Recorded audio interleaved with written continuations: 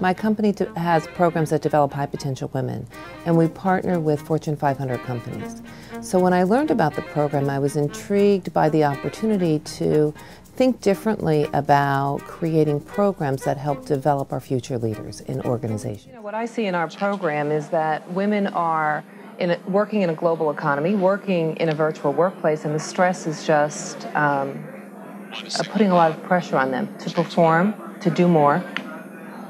I, I, must say, I read this. I think your leadership program, mentoring program, are, are, really terrific, and I can see the benefit. We at Goldman Sachs have a terrific internal mentoring program, women working with younger women in the firm, and it, and it really works terrifically for the firm. And firms that don't do that, or companies that don't do that, miss half the talent in America. And, and, therefore, I think what you're doing is hugely important for women and for the overall economy. In addition to that, we've had over 80 senior men and women who have participated as mentors in our program. So they have certainly expanded their leadership skills and given back to those women who are participating in our program. And on politics, whatever the topic of the day was, but you had to have an opinion and you had to be saying it with conviction.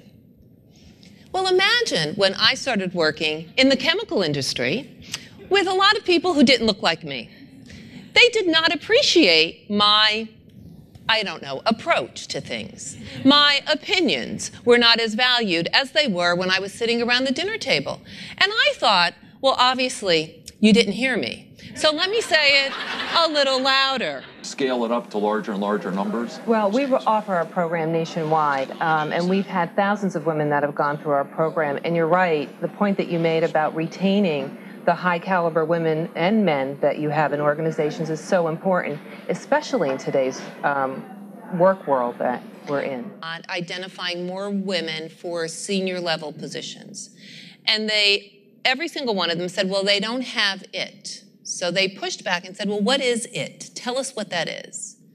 They said, Well, it's presence in a room.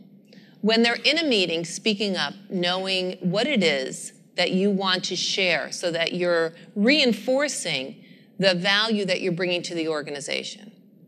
That you can speak with confidence around issues and topics. That you can manage yourself in a way that displays I'm very comfortable with what um, I'm being asked to do, and I can handle it with, with poise and grace. Wholeheartedly that true development um, comes through partnership.